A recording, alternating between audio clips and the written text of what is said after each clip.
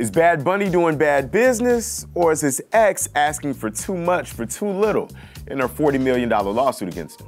I'm Dometi Pongo, and this is MTV News. Need to know. Bad Bunny's ex girlfriend, Carliz de la Cruz Hernandez, is suing him for using her voice without her permission. She's responsible for the sultry vocal we hear on the Bad Bunny Baby tag. Benito and de la Cruz dated on and off between 2011 and 2017. According to the lawsuit, which was filed in Puerto Rico, Bad Bunny would ask her opinions on songs, and she acted as his legal counsel. And fans heavily speculated that he cheated on her, even though there's been no verification from either party. De La Cruz says that she recorded the phrase on her phone in 2015 in her friend's bathroom before Bad Bunny became a global phenomenon. She claims that the drop, as producer and artist taglines are often called, is used on his 2016 single Pa Ti and 2022's Dos Mil Dieciséis. While most tags, including this one, are usually very short, they serve as audio signatures, sometimes appearing in multiple records and playing a huge role in how artists brand themselves. But De La Cruz allegedly never saw any money for her involvement. Bad Bunny and his team offered payment for the recording ahead of his last album's release, but agreements were never met, and those records were dropped anyway.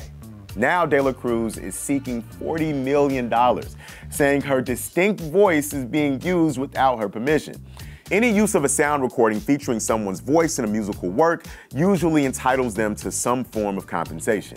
But there's no set guideline or rubric for this. For example, when the Prynce was on The Breakfast Club in 2017, he described a studio session with Ye, who he said gave credits to anyone who inspired even the smallest ideas. If you delivering waters, if you the engineer, if you the cameraman, if he asks you one thing about this song, your name is on the record. All you got to do is be in the brainstorming. Artists and writers determine compensation and accreditation amongst themselves, and it's always easier to do this before the songs come out.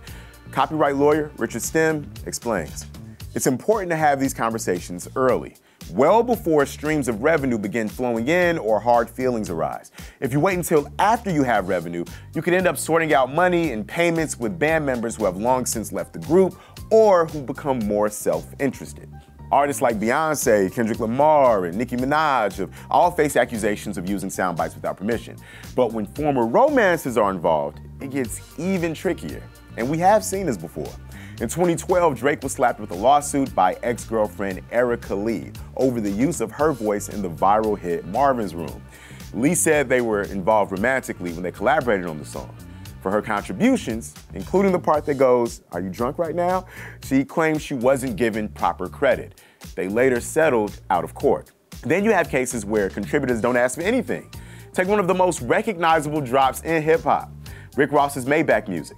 During that recording session in 2006, Ross and Jay Z were hanging out with some models from Australia. One of the models, Jessica Gomes, said the rappers took a liking to their accents. And then they told us to, you know, say a couple of lines in front of the track. It was like, what is this? And then I say Maybach music. And then my friend goes, I like this Maybach music. And then we both say sweet. Gomes didn't know that she was on Mad Rick Ross records until years later. And even though she jokes about being owed money, She's never sued Ross or even criticized him publicly. In a lot of these cases, tags come from random organic moments, whether it was a producer lifting a line from an artist who shouted them out, or an old friend or fling who gave something casually that later became iconic.